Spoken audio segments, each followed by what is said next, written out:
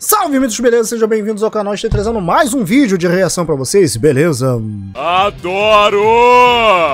A Conspiração das Árvores, explicando The Monument Mythos. Eu acho que é assim que fala, cara, eu sou péssimo em inglês. Bom, é de um canal também que eu não conheço. O nome do canal, na verdade eu conheço sim, o nome do canal é Pomba Atômico. Desculpa, eu já vi um vídeo desse canal sim. É, foi sugerido na live que eu fiz, a última com vocês. Eu tô toda hora pra vocês, gente, todo vídeo, é porque realmente tem muito vídeo que vocês pediram na live, mas não se preocupe que esse daqui é um dos últimos. Ainda depois desse aqui vai ficar faltando dois que me pediram na live, tá bom? Esse vídeo aqui é um pouquinho longo, ele tem 36 minutos, eu vou ver com vocês e vou tentar dar a minha consideração sobre o que pode ser esse daqui. Eu não sei exatamente do que se trata, a não sei que é sobre conspiração das árvores, e as árvores daqui entre aspas. Não sei se é alguma coisa daquele tipo, daquele vídeo que eu vi é, esses dias sobre o iceberg de histeria coletiva. Não sei se é algo nessa pegada, mas bora ver aqui para poder entender melhor, beleza? Com certeza. Mas antes, por favor, deixa seu like, se inscreva no canal, ativa o sininho se você for novo ou nova no canal. Sejam bem-vindos. Ai, que delícia! E haters, a poderosa Black Shark está ali, pegue e beija à vontade, continue me dando visualizações e aproveita para nadar com o tubarão. Vem brincar comigo, vem! Sem enrolação, sem demora, bora para o que interessa, direto para o react, é claro, depois da vinheta. Valeu!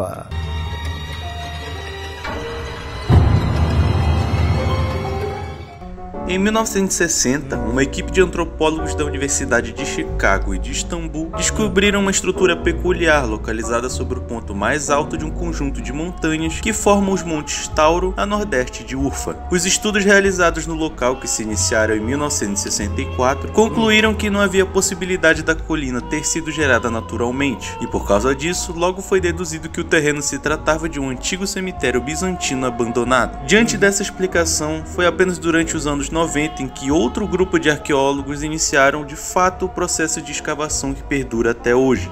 Porém, dentre algumas rochas e restos de minerais, o diretor alemão Klaus Schmidt identificou alguns fragmentos no local que não só eram evidências de uma possível civilização mais antiga, mas que serviam como chave para confirmar que aquela estrutura se tratava de um templo com mais de 11 mil anos de idade, sendo o monumento humano mais antigo já catalogado por especialistas. Eu sei que pode parecer que eu contei toda essa história só para te fazer perder tempo, mas para para pensar só um pouquinho nisso. Há mais de 11 mil anos, em um período quase pré pré-histórico, existia uma civilização que antes das pirâmides e das estátuas clássicas que a gente conhece, já produziam seus próprios marcos geográficos importantes. Eu tô dando destaque para isso porque toda essa situação me fez pensar uma pergunta que é: por que nós humanos construímos monumentos? Eu não sei dizer se existe uma resposta concreta para isso, mas o fato é que essas gigantescas construções que fazemos possuem um sentido que vai muito além da estética. O Cristo Redentor do Rio de Janeiro possui um motivo para estar no local onde ele se encontra que é muito maior do que simplesmente simplesmente o fato de ficar bonitinho com a paisagem. Um monumento possui um sentido que é principalmente político,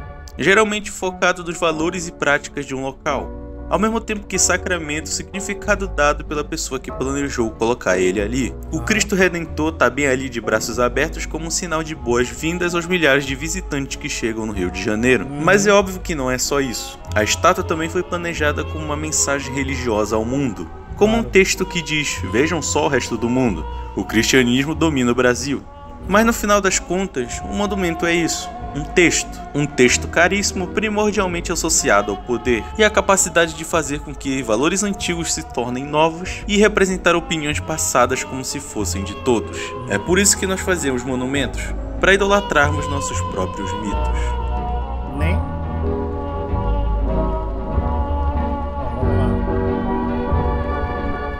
Monument. Lembrando que o foco principal desse vídeo é a primeira temporada dessa série presente no canal do Alex Kansas. Se tu tiver interesse eu vou colocar o link no comentário fixado aqui embaixo. Dito isso, pode continuar à vontade. A série começa com um vídeo chamado Liberty Looker, também traduzido como Perseguidor da Liberdade. E dentro do seu próprio contexto, parece ser um trecho de um documentário arquivado com foco na história sobre a Estátua da Liberdade. E aqui nós comecemos por um áudio gravado durante o ano de 1889, durante uma entrevista com o escultor original da estátua, que foi o Sr. Frederick August Bartholdi. Sim.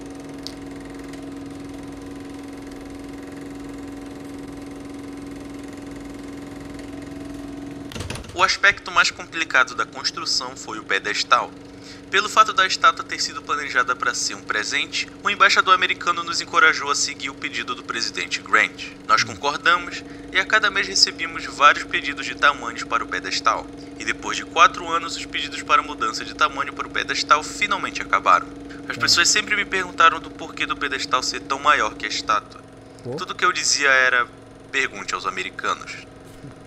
Em seguida, nós pulamos um pouquinho no tempo dessa Opa, vez indo para o ano de caraca. 1949, o ano em que a estátua acabou passando por uma reforma bastante cara para o governo americano, muito provavelmente para consertar os estragos ocorridos durante a Black Tom, que foi um atentado ocorrido 33 anos antes, no pier de Jersey City, que causou uma explosão tão potente que um terremoto de quinto grau foi sentido pelos moradores das proximidades, além de vários destroços que atingiram a estátua e causaram danos de uma forma significativa o suficiente para tornar proibida a visitação de turistas sobre a tocha por mais de dois séculos. De todo modo, o vídeo que a gente vê em seguida se trata da apresentação da planta oficial da reforma, que havia sido arquivada por 36 anos. Nossa, essa música antiga. Medo, medonha. É, realmente o pedestal é maior do que a estátua, mano. Caraca.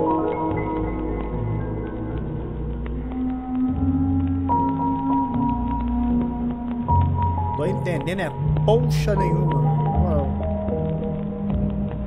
Stairs é escada, né?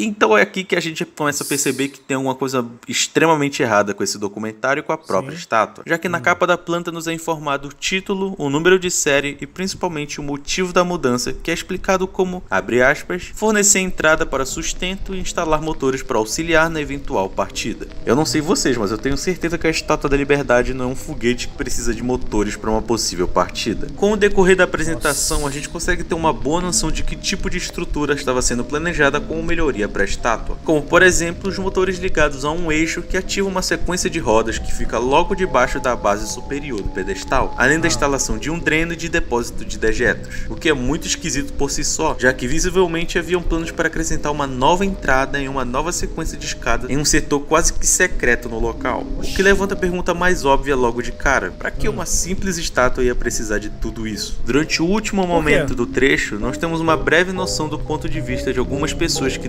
trabalharam no local, ou que ao menos passavam pela ilha de Ellis. Como por exemplo no verão de 1954, quando milhares de imigrantes que chegavam relatavam sentir um odor muito forte enquanto passavam por ali, muito provavelmente quando chegavam de navio nas docas que ficam nas proximidades. Logo a é gente escuta o depoimento de uma imigrante italiana chamada Leonora Bramante, que nos confirma algumas coisas bem interessantes, sendo a primeira delas o cheiro horrível do local, que ela descreve como odor de carne podre, como se fosse um matadouro. Ela, muito provavelmente por morar na região costeira de Nova York, chega a dizer ter visto durante a noite várias pessoas sendo levadas em fila por policiais até o pedestal da estátua. Todas essas pessoas estavam ali sem questionar nada, porém apenas os policiais saíam do local, enquanto no dia seguinte o cheiro podre ficava ainda pior. É, eu acho que agora já deu para ter uma boa noção de que tipo de loucura a gente vai lidar no decorrer dessa série. E esse vídeo é uma boa entrada, já que ele é bem fácil de ser compreendido. Certamente existe algo anormal na ilha de Ellis, algo que foi o real motivo para que o presidente dos Estados Unidos exigisse um pedestal tão maior que a própria estátua. Muito provavelmente para esconder essa coisa e permitir que ela transformasse esse monumento histórico em seu próprio ninho. E sabe o que é pior? A ilha de Ellis foi por muito tempo usada para inspeção de imigrantes e ficou aberta por 60 anos até ser fechada em 1954, o que literalmente significa que o governo apenas aceitou a chegada desses milhares de homens e mulheres que apenas desejavam um novo começo para que pudesse usá-los para alimentar essa criatura, que apenas foi embora anos depois. Barulho assim, esquisito, mano. Primeiro avistamento.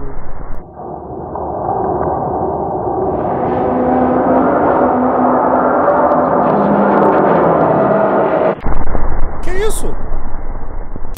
Que Em- porra, cara? Que? Peraí, primeiro. Como é que é? É, primeiro avistamento do é, Perseguidora Liberdade. Que que é isso, mano? Que isso, mano? Que merda é aquela, cara? Após a investigação, a autoridade local associou o depósito de dejetos com força de restos humanos. Mano. Cruzes. Em Rushmore. Se você tem familiares que foram vistos pela última vez na ilha de Ellis entre os anos de 1949 a 54, você deve ser intitulado, é, intitulado com uma compensação, né? Em Rushmore Revenge, ou Rushmore Vingança, nós estamos em 2003, o ano em que um dos maiores ícones americanos foi vandalizado por um grupo desconhecido que pintou frases bastante interessantes por toda a escultura. Em 7 de agosto, o governo americano pode financiar um genocídio se tiver nomeado com um monumento nacional. Todo dia execuções ocorrem em 2.600 marcos americanos. O sangue da liberdade será vingado. A alma de Lincoln será liberta. Em 14 de agosto, eu vou introduzir a infecção na próxima semana, entre segunda-feira e domingo. Fica atento aos sintomas. Aqui nesse vídeo a gente tem uma das primeiras dicas da existência de um grupo chamado ADA, que eu vou explicar em um outro momento. Esse grupo vai ser responsável por nos dar algumas dicas sobre o que realmente está acontecendo com os monumentos americanos. E aparentemente ele oferece um sentimento de perigo real no país, à medida que com uma simples mensagem pichada, o Serviço Nacional de Parques inteiro decidiu tomar uma iniciativa de emergência, principalmente para enviar patrulhas durante a noite para filmarem qualquer possível anomalia ocorrida durante os horários indicados, às 10 e 12 da noite até às 10 e 13.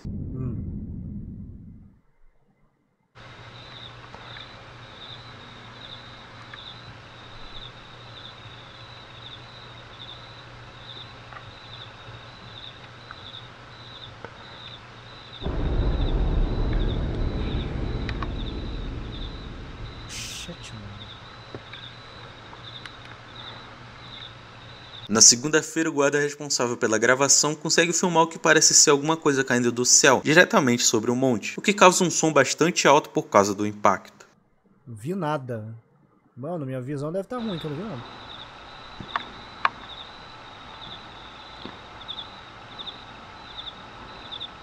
Opa, tem alguma coisa piscando ali.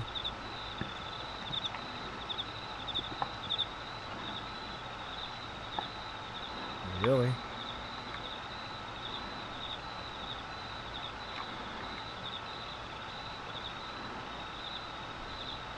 Durante a terça-feira, entre a cabeça de dois presidentes, é possível ver uma luz piscando bem ao longe. Eu cheguei até a pensar na possibilidade de ser um código Morse. Mas sendo veterano de guerra condecorado como eu, dá para notar a total falta de padrão e pausas chaves entre cada brilho. Hum. Quarta-feira. Hum.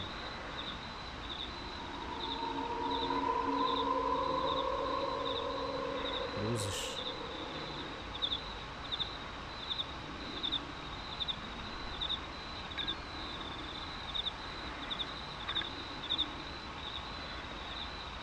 Na quarta-feira, logo de cara, é possível se escutar um som estranho vindo do monumento, além do fato do rosto do Abraham Lincoln aparentemente estar olhando diretamente para o guarda responsável pela real, gravação. Real, real, real, real.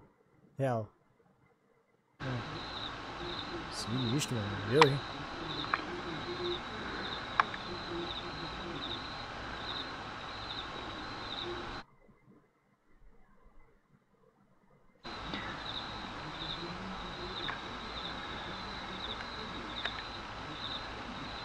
É louco, bicho.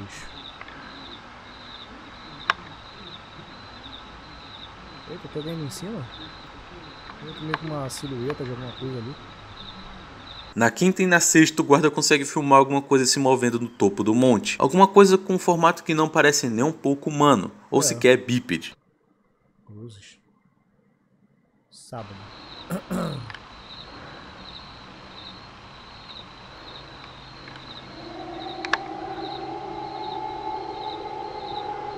Landscape. Ué, No sábado, o guarda acabou se esquecendo de retirar a lente de proteção da câmera, fazendo com que ele não conseguisse gravar absolutamente nada. Porém, no domingo, a gente consegue ter uma boa vista do que estava surgindo no monte no decorrer desses dias. hum. Sunday. Hum.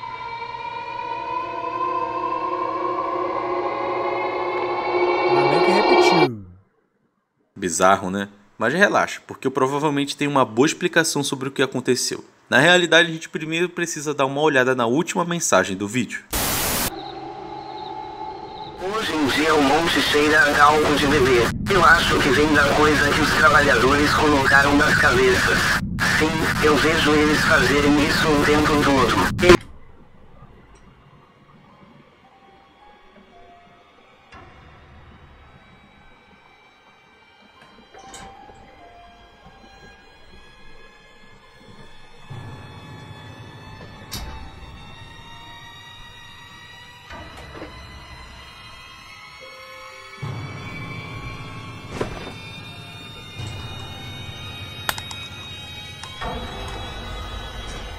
Não sei porquê, mas esse som, com essa voz estourada, chiada do cacete, deu um arrepio aqui que eu vou te falar, bicho. De Washington até o Lincoln todas as noites.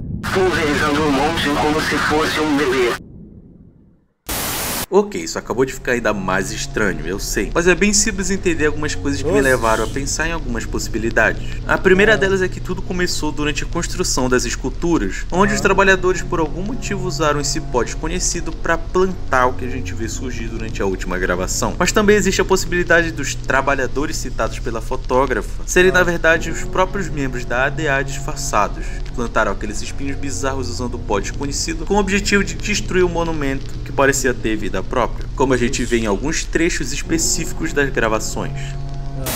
Em Alcatraz Ataque, ou Ataque de Alcatraz, nós temos o que parece ser a documentação de um evento militar muito importante chamado como Terapia, envolvendo a prisão de Alcatraz. Sabe do que eu tô falando, né? Aquela prisão gigantesca que fica em uma ilha e tal. Muito Aham. popular, por sinal. Enfim, de início nós temos Eu uma boa olhada pelo que parece ser a planta baixa oficial da ilha inteira, que possui um formato bem normal, mas até que bem interessante. Mas vamos seguir em frente que logo logo eu volto nesse assunto. Na planta nós podemos observar as fortificações, os túneis, o jardim e a prisão principal. Porém, logo a gente começa a ser apresentado algumas estruturas um tanto que peculiares, como as com esses símbolos esquisitos. E na verdade a gente consegue ver algumas coisas bem interessantes desde o início da apresentação.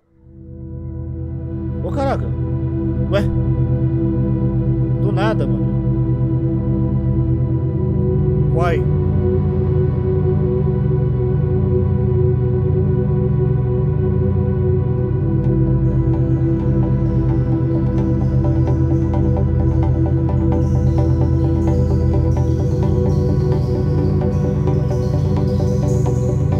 Tá vendo aquela coisinha estranha bem do lado da torre de água? Aquilo ali é bem familiar, né? Então, se tu prestou atenção na aula de ciências e biologia da tua escola ao menos uma vez, tu deve Ah. saber que essa estruturinha é uma mitocôndria, que resumidamente é o órgão responsável pela respiração das células. Aham. E por falar em célula, depois dessa apresentaçãozinha, a documentação passa a se focar em um evento chamado Alcatrozes, onde a gente vê aquela estrutura presente na prisão principal que possui o formato exato de um núcleo se dividindo em dois. Que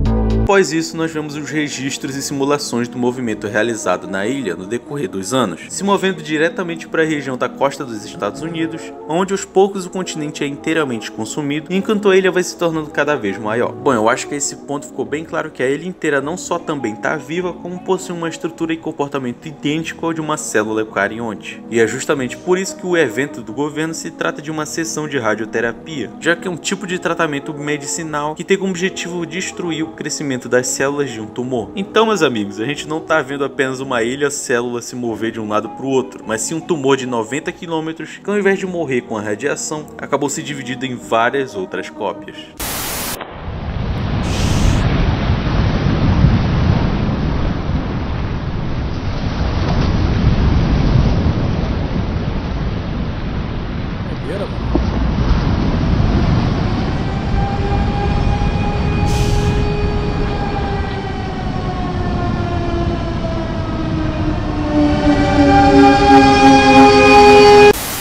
Jean Democracy, ou Democracia Jean, é um vídeo bem diferente, à medida que não tem nada de assustador aqui. Porém, de alguma forma, todo esse mini documentário de 8 minutos é algo que merece ser experimentado, porque é muito interessante por si só. Mas vamos nos focar nas dicas que podemos perceber daqui pra frente. De acordo com o documentário, durante um programa da emissora ABC, um âncora chamado Peter Jennings anunciou para os telespectadores que na semana seguinte iria acontecer uma transmissão especial de significância nacional. Porém, essa antecipação inesperada fez com que todos os 60 milhões de americanos ficassem atentos à emissora no dia em que iria acontecer a transmissão. E com isso, várias teorias começaram a surgir entre a população. Uns acreditavam que seria o anúncio da existência de alienígenas, e outros que seria o anúncio de uma guerra nuclear mundial. Porém, infelizmente ou felizmente, todas essas teorias estavam erradas, já que após o fim do programa da tarde e seguido por uma tela preta, se iniciou uma contagem de 10 segundos para o início da transmissão, seguida pelo título Democracia Jean. Todos estavam nervosos e alguns já lamentavam com antecedência a possível má notícia. Alguns chegavam até a gritar na rua que Democracia Jean seria o código para o início de um holocausto nuclear. Porém, a maioria estava atenta à televisão no momento em que a contagem chegou a zero.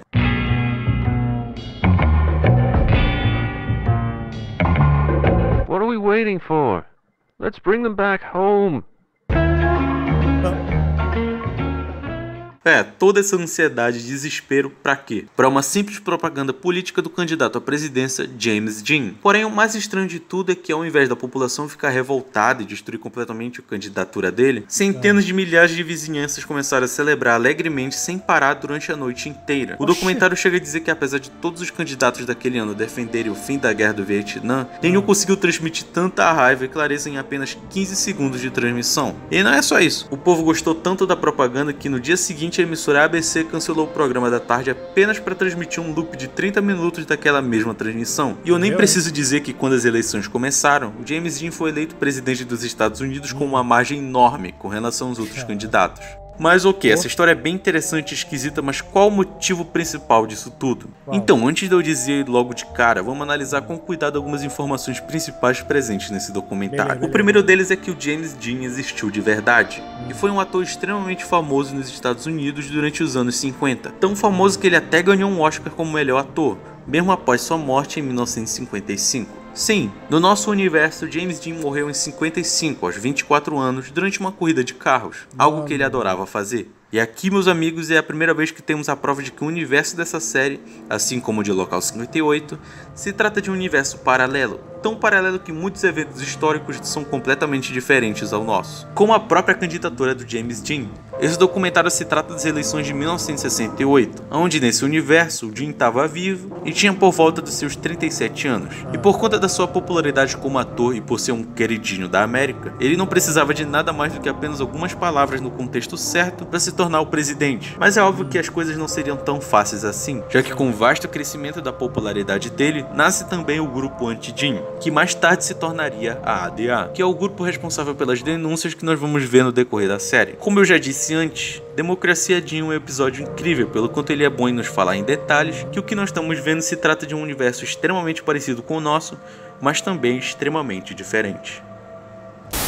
O vídeo em seguida se chama Lincoln Looker, ou Lincoln Observador, e a partir desse momento se torna um pouco incerto sobre quem exatamente está produzindo esses documentários. Mas de todo modo, esse se trata de um tipo de tradição americana extremamente absurda, onde o presidente eleito escolhe uma pessoa que ele menos gosta, ou tem algum atrito, para assim ser criado um álibi para que ela possa ser sequestrada sem levantar suspeita, para poder se tornar um Lincoln Looker. Um Lincoln Looker se trata resumidamente de uma pessoa que é presa atrás de uma pintura ou dentro de uma estátua podendo ver o lado de fora apenas por dois buracos feitos nos olhos por onde ela é alimentada com uma espécie de sopa durante todo o mandato do presidente atual, que durou por volta de 5 a 4 anos.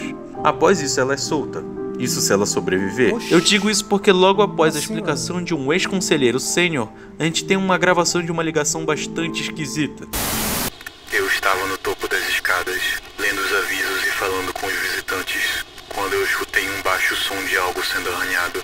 Eu não liguei muito para isso de início, mas quando eu cheguei perto da cadeira, eu percebi que o barulho estava saindo de dentro do mármore. Então eu fui até um guarda e perguntei se existia a possibilidade dele fazer alguma coisa com o animal que poderia estar preso ali. Ela disse para eu não me preocupar, já que eles iriam resolver isso assim que houvesse menos visitantes no local. Alguns minutos se passaram e o barulho se tornou ainda mais alto. Eu voltei para o jardim e perguntei para ela que tipo de animais costumavam ficar presos ali e ela respondeu: animais selvagens. Bom, esse carinha que a gente escuta no telefone chamado Howard Melrose não ligou para contar para sua amiga apenas as coisas estranhas que ele ouviu. Na verdade, essa ligação vai muito adiante. Ele chega a dizer que em um certo momento os barulhos de arranhados eram tão altos que as crianças puxavam as suas mãos pedindo para irem embora. Porém, também havia uma garota cega que, por outro lado, chegou perto o suficiente de uma estátua para colocar sua orelha contra o mármore. E depois de ouvir o que estava lá dentro, começou a chorar. Assim que os pais tentavam tirar ela dali de perto, enquanto ela batia na estátua com sua bengala. O Howard, que já estava curioso com o barulho e tudo de esquisito que estava rolando ali dentro, se juntou à garota em ajudar ela a embater na estátua. Nesse momento, os guardas da exposição começaram a ordenar as pessoas para que saíssem daquele andar. Em certo momento, o mármore finalmente se quebra. E o que acontece em seguida a gente pode ver na gravação que ele fez.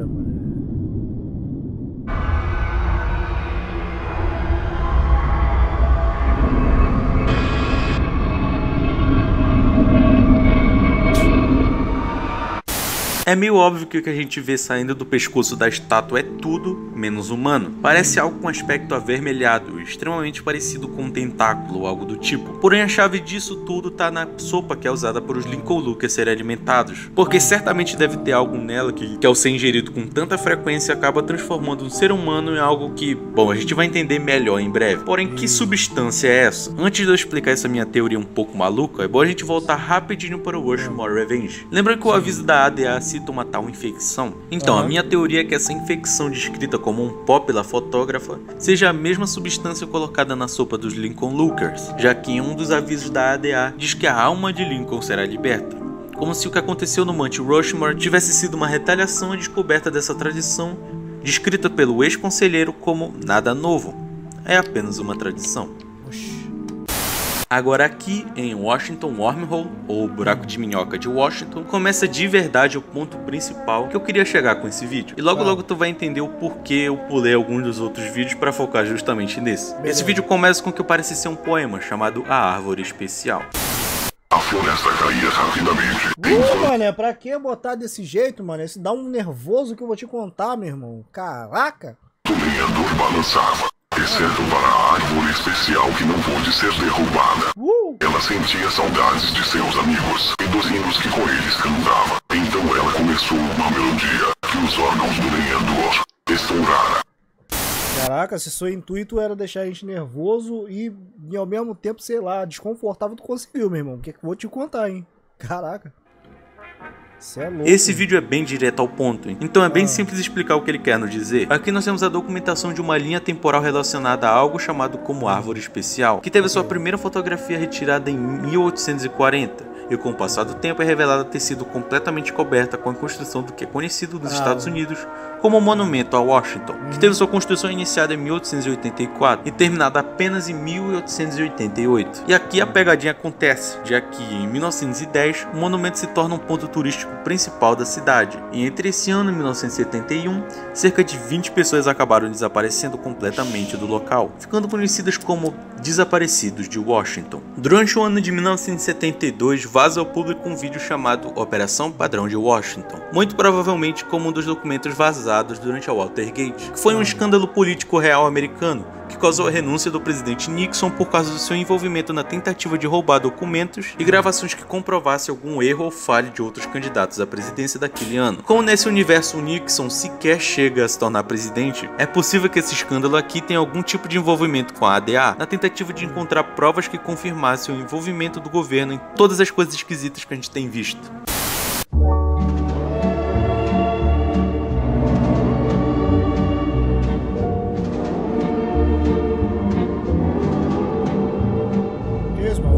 Tá entrando ali. O que foi que aconteceu com o consolo, mané?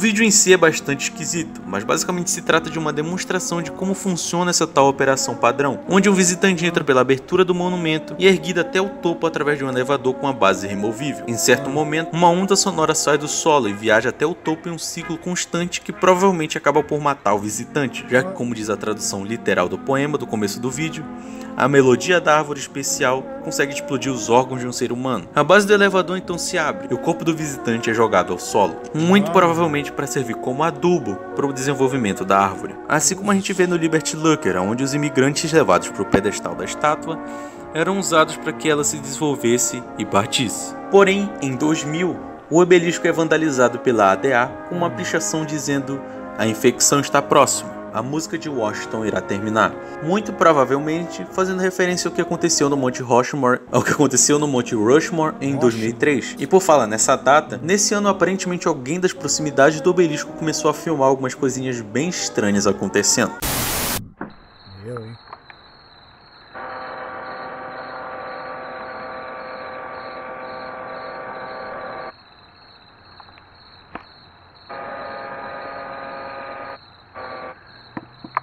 que a câmera sempre tem que ficar ruim nessas horas, né?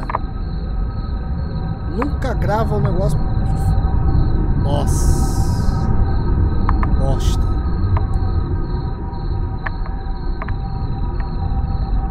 Ué?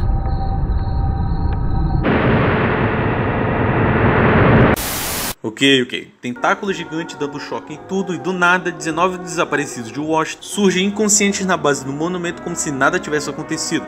Quer dizer, nada além de uma fucking viagem no tempo. E essa nem é a maior revelação desse episódio, pois aqui também é confirmado que o poema sobre as árvores especiais não estava sendo nem um pouco lírica ou sendo representado de forma artística e criativa. Essa árvore literalmente possui vida própria, e de acordo com a minha teoria, existem outras delas, mas isso a gente vai entender melhor em breve. Nosso sétimo e último episódio desse vídeo aqui, chamado Rockefeller Tragedy, ou Tragédia de Rockefeller, nós assistimos a documentação de duas cartas escritas por pessoas diferentes, mas que se trata de um mesmo evento ocorrido durante um dos primeiros natais ocorridos na Rockefeller Center, onde todo ano os trabalhadores do local colocam uma árvore de Natal bem no centro e decoram ela da melhor forma possível. A primeira carta que temos acesso é a primeira página do relato feito por John Davison Rockefeller, o fundador do centro e também o primeiro bilionário da história. Ele diz que durante o primeiro inverno da construção do centro, os responsáveis pela construção ergueram uma pequena e humilde árvore de Natal para aumentar a moral da equipe, e essa ação mexeu com ele de tal forma que o fez pensar na possibilidade de transformar essa ação em uma tradição constante para os outros natais que virão em seguida. E por causa disso, o Sr. Rockefeller decidiu viajar até a Babilônia para encontrar a próxima árvore que usaria para a doação. A documentação também dá foco a outra carta, que foi escrita e desenhada por uma garota chamada Virginia. Segundo ela, o Sr. Rockefeller ficou mais de um mês na Babilônia,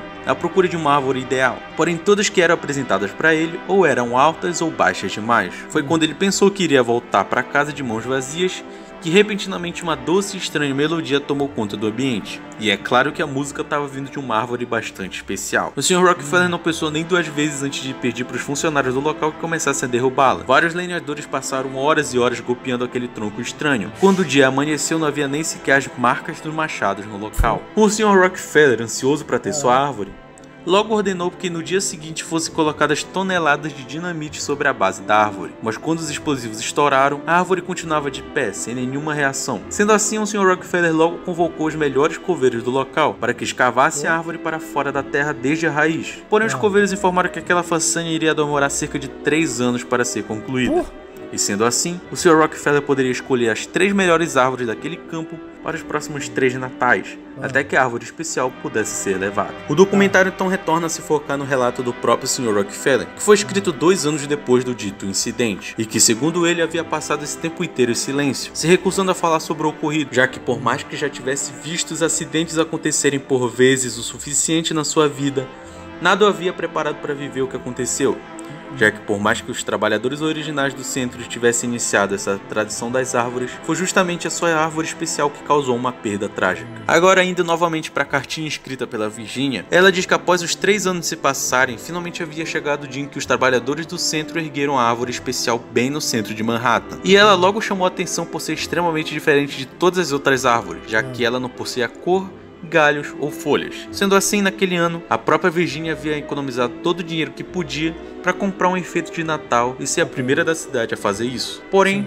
quando o momento chegou, a árvore era muito alta e ela nem sequer conseguia chegar perto dos galhos mais altos. Sendo assim, a Virginia teve a ideia de chamar seus 10 amigos para que pudessem subir um nos ombros dos outros e chegarem o mais alto possível. O plano aparentemente deu certo, visto que apesar de cada uma das crianças terem pisado nos lugares errados, Virginia rapidamente chegou até o topo da árvore. A torre de crianças balançava e parecia que iria cair a qualquer momento, mas logo ela conseguiu colocar sua pequena estrelinha na pontinha mais alta, como uma típica árvore de Natal. Porém, em certo momento, a árvore começou a fazer um som estranho e todos os galhos que haviam sido colocados como enfeite caíram, enquanto o topo da árvore especial descia até o solo, formando um arco perfeito. O som estranho ia ficando cada vez mais alto. Junto com isso, raios elétricos começaram a sair de dentro do arco, produzindo um som de explosão muito potente. Os raios logo escaparam e rapidamente atingiram cada uma das crianças, cegando todos no local com uma luz branca intensa. Virginia chega a dizer que depois disso ela se viu sentada sobre o campo inteiro com várias e várias daquelas mesmas árvores estranhas, cantando uma para a outra como se estivessem conversando, enquanto a melodia se misturava com diversas vozes que repetiam: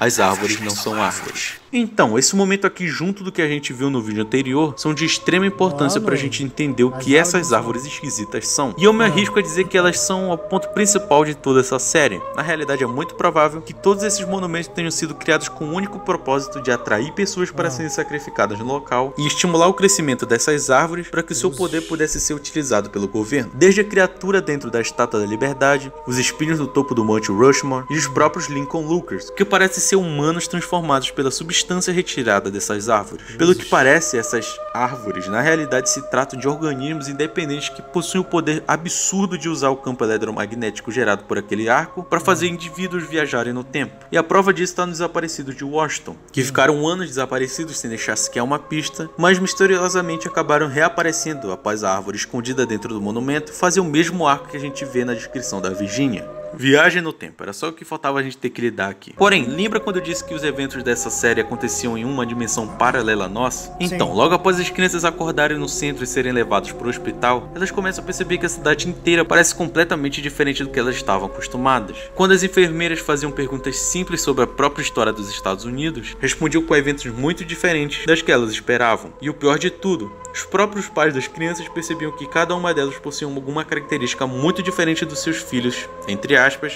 originais. E algumas delas possuíam até nomes completamente diferentes. É durante as perguntas feitas pelo Sr. Rockefeller sobre ele mesmo que descobrimos que na realidade, esse Rockefeller que a gente está lendo o relato não é o Rockefeller da nossa realidade. Porém, as crianças respondiam com as exatas informações que os próprios livros de histórias descrevem sobre ele, como um magnata da indústria do petróleo. Mas calma, o que isso significa exatamente? Significa que essas crianças vieram de uma linha temporal onde as informações históricas são parecidas com a nossa, mas também significa que essas árvores especiais também estão por aí, cantando para algum lenhador na nossa linha temporal.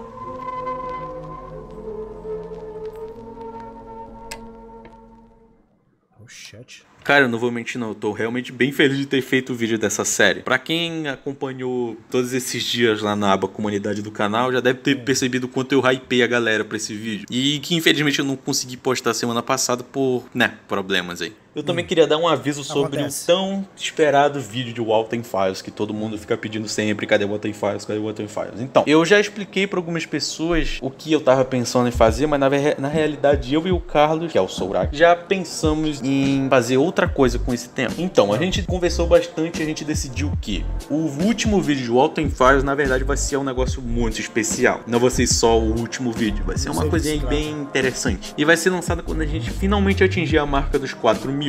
É, é um, é um númerozinho um pouco longe, mas a gente vai chegar lá, eu tenho confiança nisso. Então é isso aí. Se tu quer ver o Alten Files mesmo e do jeito que a gente tá planejando fazer, dá, se inscreve aí, cara. Não perde oportunidade, não. Então, recado dado. É só isso mesmo que eu tinha a dizer. Muito obrigado por ter assistido até aqui. Não esquece de assistir os outros vídeos que a gente tem feito. E não esquece de compartilhar a gente também, né? A gente tem que crescer um pouquinho. Então, Isso aí. véi, valeu. Valeu mesmo por ter assistido até aqui. junto. E até semana que vem. Sucesso aí, mano. Desde já quero agradecer a todos os membros do canal por estarem contribuindo com o meu trabalho. É sério, o que vocês têm feito por mim tem me ajudado demais. E se você ainda não é membro deste canal, torne-se um membro para poder ver vídeos antecipados e também fazer parte do nosso grupo do WhatsApp e talvez outras coisitas mais. Um salve a todos do Agente Negão, valeu! -a.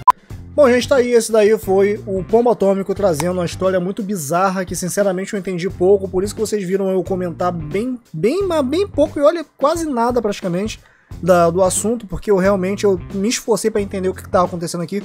Só fui entender que era uma história de uma coisa paralela ao nosso, à nossa realidade, quase que no final, tá ligado? Peço desculpa em relação a isso, mas o negão aqui ele não é inteligente em tudo, tá ligado? Eu tenho que aprender muita coisa também. Isso daqui é uma das coisas que eu posso te falar que eu não vou saber debater ou falar sobre. Mas que é uma história bem medonha e macabra nos seus níveis certos, é, tá ligado? A forma que esse rapaz aqui ele apresentou do bomba atômico, a forma que ele colocou aqui é, cada, cada frase dita, né, cada texto, é, no caso falado, daquele, com aqueles efeitos e tal, tudo de ruído, tudo. Pô, só de falar aqui, só de lembrar, eu já tô ficando arrepiado, tá ligado? Então, é uma atmosfera boa que ele deixou nesse vídeo aqui, uma atmosfera até de terror, sei lá. Mas que é uma parada muito esquisita, é, cara. E assim, eu, eu particularmente, como eu falei, e eu já falei várias vezes e repito, essas paradas de negócio de teoria conspiratória não é a minha praia, tá ligado? É, esse negócio dessa árvore que ele falou, né, que embora ele tenha colocado aqui em forma de, de uma coisa que, né, é paralelo à nossa realidade, né, mas de, de repente vai que tá por aí, eu não sei, né, vai que, sei lá, o mundo é grande demais, de repente tem, tem muitas coisas esquisitas mesmo no nosso mundo, tá ligado? Eu acho que as coisas mais esquisitas no nosso mundo mesmo tá no fundo do oceano, porque lá é onde o ser humano nunca chegou, tá ligado? De ver todas as criaturas marítimas. Eu acho que aquilo dali sim que é um mistério da humanidade, tá ligado? Porque o oceano faz parte da humanidade também, obviamente, no sentido planetário que eu digo. Mas agora sim, em relação à natureza, eu sei que tem muita coisa também que eu não vi e, sinceramente, não sei se eu quero correr o risco. Mas realmente é uma parada bem interessante de se falar. E, mano, é sinistro. Esse negócio de viagem do tempo, meu irmão, eu que não vou saber falar mesmo, que é um negócio muito, muito, muito complicado, mano. Muito complicado. É isso, gente. Eu vou ficando por aqui. Eu espero que vocês tenham curtido meu react. Eu vou deixar esse link desse vídeo do Pombo Atômico na descrição do vídeo.